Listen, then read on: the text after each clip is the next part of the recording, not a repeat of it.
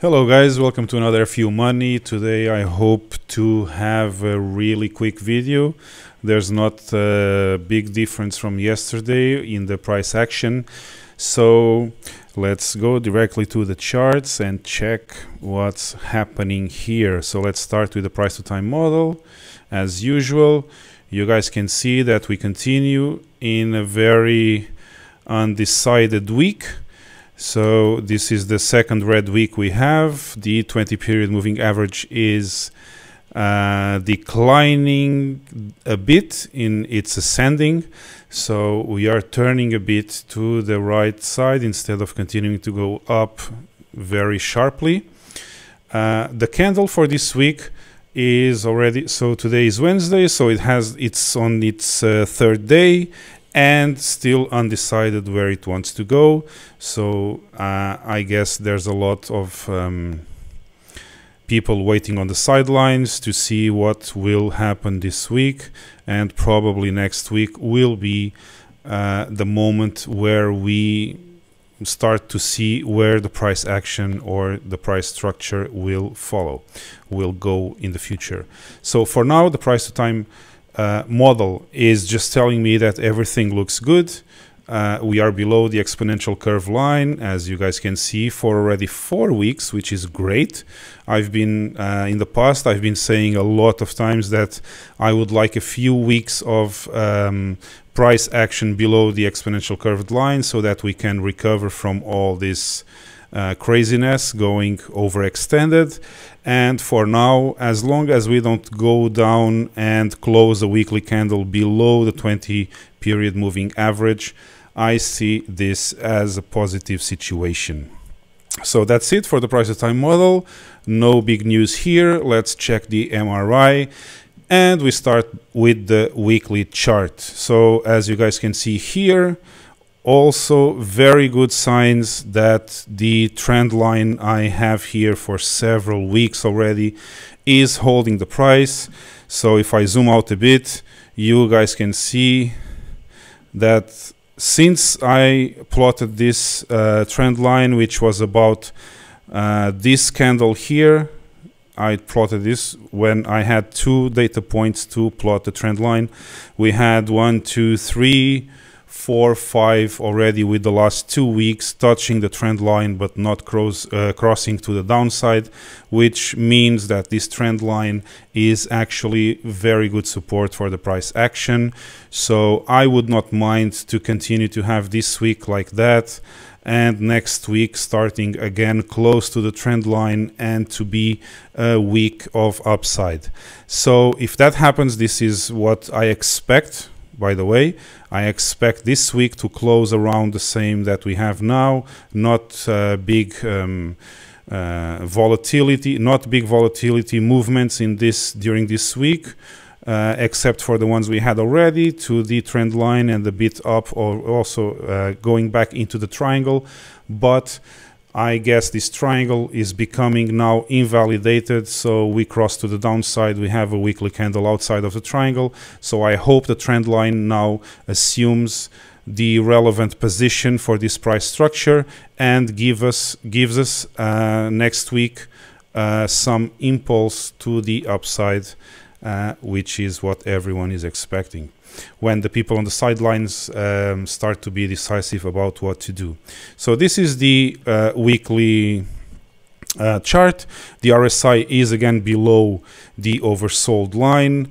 The MACD is in a very dangerous position. You see the two lines are about to touch each other. But if next week we see a positive movement to the upside. I believe that even the lines touching each other, they should not cross over. And if the candle for next week is green and um, you know going up again with the same kind of uh, uh, strength that we have been seeing in the market, probably those two lines the maximum that could happen is they could touch but not cross over and that is good so I hope this can happen. Uh, the um, Fisher distance from the EMA is neutral, so nothing to see here. Let's check the daily.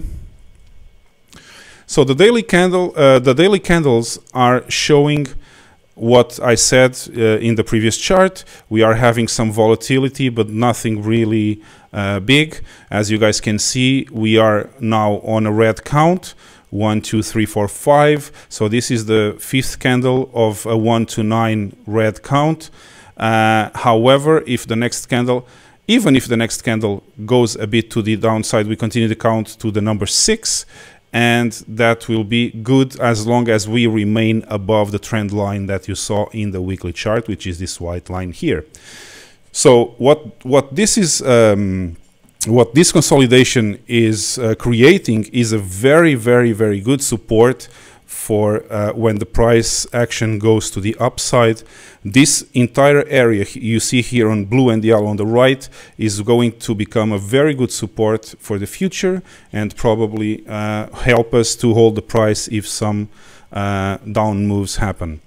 So the price, uh, the volume, sorry, the volume um, decline is at this moment stabilizing. So as you guys can see, the orange average volume is coming down and then it goes up here on the daily and then it just goes sideways. So this shows that the volume decline is stopping and we are now going sideways trying to balance again the volume. Probably if we see uh, new volume coming in and the orange line starting to go up again a bit, we could see that in at the same time as next week's candle probably going to the upside, which they don't have any correlation. The volume can be really high and we can still go to the downside if the sell volume is much higher than the buy volume. But however, this is a bull market and in a bull market, usually people tend to uh, buy more than sell. So an increase in volume would be a good sign, although I know they are not directly correlated. The RSI uh, came a bit down for the last few days. It crossed uh, below the, the mean line of this chart here, but we are now going sideways again, so not really relevant. The MACD on the daily is bearish as you guys know already. Uh, the BitMEX funding rate, we don't discuss it on the daily, but however, I can just tell you that on the daily, this is 0.01, which is very low, but I believe that in the next chart, we can see a bit different uh, stuff. Let me just check if I said everything about the MRI.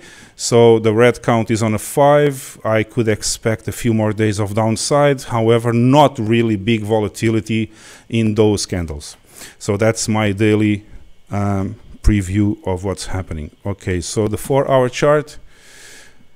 So as I said, we have been consolidating above the trend line. You can, you guys can see the trend line that I discussed on the uh, weekly chart here. So this is the consolidation we've been having. So I'm not expecting the price action to cross to the downside of the trend line. If that happens, I will have to reevaluate possibilities. However, um, we also have been um, having this resistance of the down uh, side of the triangle, which is the green line over here. So we've been just consolidating between the trend line and the downside of the triangle, and probably after this consolidation and a few more days, probably we will see some kind of volatile move um, some reactivation, for example, to the upside, which is what I expect. If not this week, at least uh, the coming week, we could see some volatile move after this consolidation.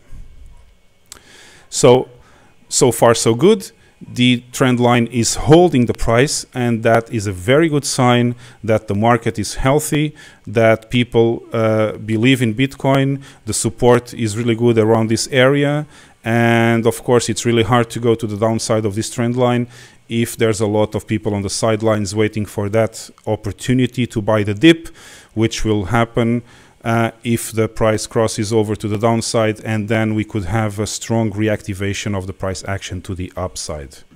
Okay, so this is the four hours. So let me check the BitMEX funding rate, which is really small here because of those bars of the past Uh, so right now it's really close to zero. As you guys can see, this is almost zero. So it's not relevant. Uh, and this is good for the bull case. So as long as the funding rate on BitMEX is really low like this, the bulls are in uh, control of this market. And I bet that it's because of this also that the price is being held here above the trend line.